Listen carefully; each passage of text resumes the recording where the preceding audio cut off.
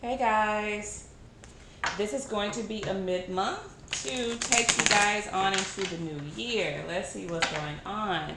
This is a love and guidance reading, guys. Whatever comes up, comes up. All right. Sagittarius, Sun, Moon, Rising, Venus, and Jupiter signs. Of course, this is a general reading, so it's not going to resonate for everyone. So be mindful of that. All right. Sagittarius. Sagittarius. What's going on with my Saggies? On into the new year. Here we go, guys. Ooh, Five of Swords. Ooh, your challenge is the devil. Your foundation is the Six of Cups. The recent past is the Knight of Wands. Your present, move these down, is the Hierophant. Your near future is the Eight of Swords. Hmm. How you see yourself is the Eight of Wands. In the environment, we have the Three of Swords. Your hopes and fears is the Four of Cups and your potential outcome is a Six of Pentacles. Hmm. Okay. So we'll start, It depends on where I my eyes go to where I start. So I'm going to start in the recent past with the Knight of Wands. Um, being unsure of whether you want to stay or go whether you want to continue to invest or just leave it alone. Deciding what's best for you because there is there is a level of I'm not sure what to do with this card. I don't want to let something go because I'm used to being there for this person. Um, and this could be somebody else as well deciding this about you. Okay, so the energy can it could be people around you that's that's also you know involved in your spread here. But this is just really like a level of um, indecisiveness. I feel like here with the Knight of Wands. Okay, now the reason why you're here is because of this soulmate relationship. This is somebody that you really feel attached to that um, that you feel like or felt like at some point you belonged with or they feel this way about you. Okay? Or both of you feel like you guys belong together you've probably known this person forever have probably even been in a relationship with this person for a long time and things have just kind of gotten out of, out of hand i feel like like you you feel like you're losing control or have lost control or vice versa okay now you're at a point during this period where you're feeling um, like there's nothing else I can do. What else can I do? I've done everything that I could possibly do. Um, but I feel like you're taking punches, and I almost feel like you know you're taking punches below the belt. This is arguing, but this is this is somebody not fighting fair. No, no fight is good, but it's especially hurtful when you feel like somebody's not fighting fair. Like they're doing things that um, that are just not good, vindictive. This is this is like um, vindictive energy. Okay, wanting to get back at somebody for whatever reason. And your challenge is to let go of your fears, to let go of feeling so attached to this person, feeling like maybe that, you know, you are the one that needs to help them.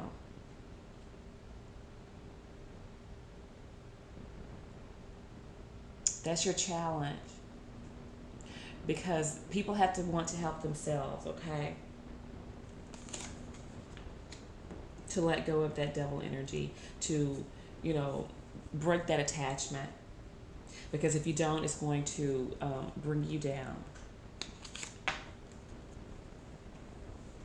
This is you not wanting to budge. You don't want to let go because you know or you feel that you and this person belong together. That's what this is. This is why you're here. This is your present situation. You're not budging. You're not giving up. You're not letting go. You're standing your ground. You're standing your position. You're having faith that all of this will work out the way that it's supposed to. And it will work out the way that it's supposed to. Most definitely. But the thing is, you have no control over that.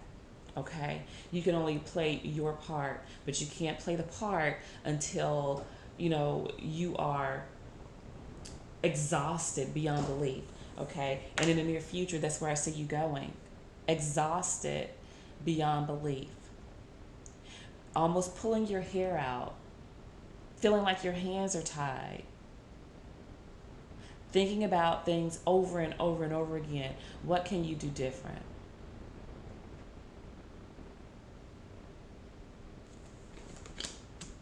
This is this is being trapped. This is feeling trapped. This is feeling trapped. Okay?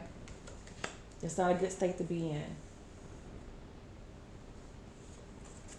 How you see yourself is that you're going to leave. If things don't get better, you see yourself as leaving. But you also feel like if you could just talk to this person more, if you could have more of an influence over them, that things will also get better because you love this person.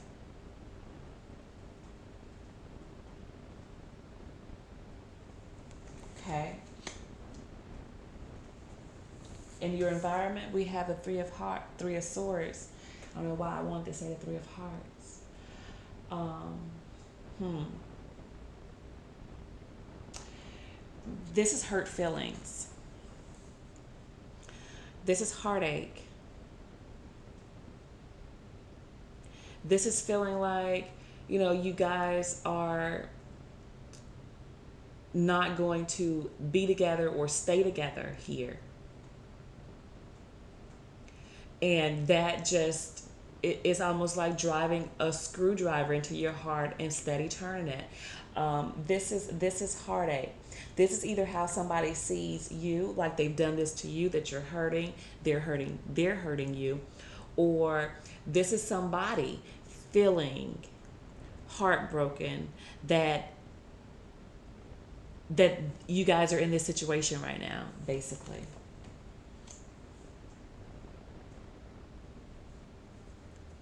Now, in your hopes and fears, we have the Four of Cups. You don't want this relationship to be become just a memory. You don't want to be by yourself. You don't want to have to look for something else because here you found the person that you want to be with here with the Four of Cups and the Six of Cups as the Ten of Cups. You found the love of your life here. You're not thinking about anybody else. And you don't want to. That's like, you know, that's the furthest thing from your mind, I feel like. But in your potential outcome, we have the Six of Pentacles here. And this this card, what I see in this card right now is that you're almost treating this person like they're your your child, like you feel like you have to protect them at all costs. But in a in a true relationship, there is equal give and take. Now, granted that you don't want to leave your partner when they get down and out, who does that? That's not a real partnership. But there comes a point where they have to try to help themselves as well. Okay? But I see you not going anywhere. I see you steady giving. I see you steady giving to this situation for sure. You're not going to give up. You will take all of the slack if you need to. And that's what I feel for you, Sagittarius. Okay? And this is going into the new year.